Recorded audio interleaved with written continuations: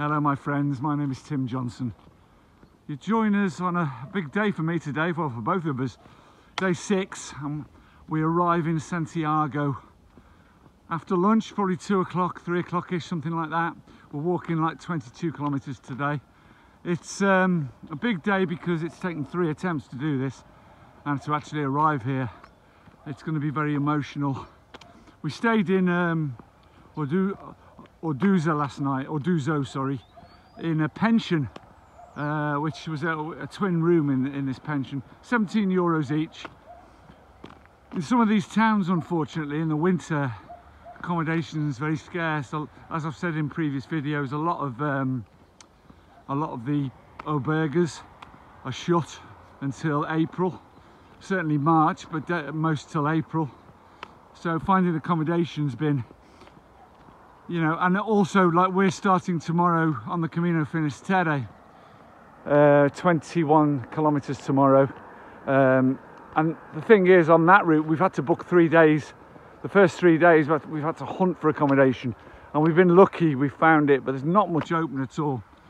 So that's something to bear in mind if you're walking at this time of the year. Having said that, it's amazing. Look at this. There's John. And uh, no people just no people it's perfect. And um, you know never give up on your hopes and dreams. I never thought this day would come. It's a miracle to me this because after the second Camino that I did um, I'd done 800 kilometers and collapsed with exhaustion. Didn't make it to Santiago. I did I relapsed. And 14 months ago I could never ever have seen myself recovering even from the hole I dug myself but actually coming here and doing this you know having the money to do it having the will to do it having the energy to do it and the fitness having someone to do it with you know a, a fellow who's in AA with me it's just a miracle.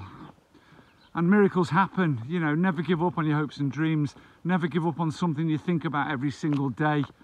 You know the only failure is to stop trying as they say and I just didn't stop trying. Consequently here I am.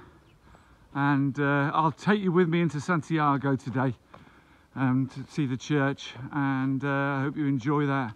Carpe diem my friends. Much love. Stay strong. Keep moving forward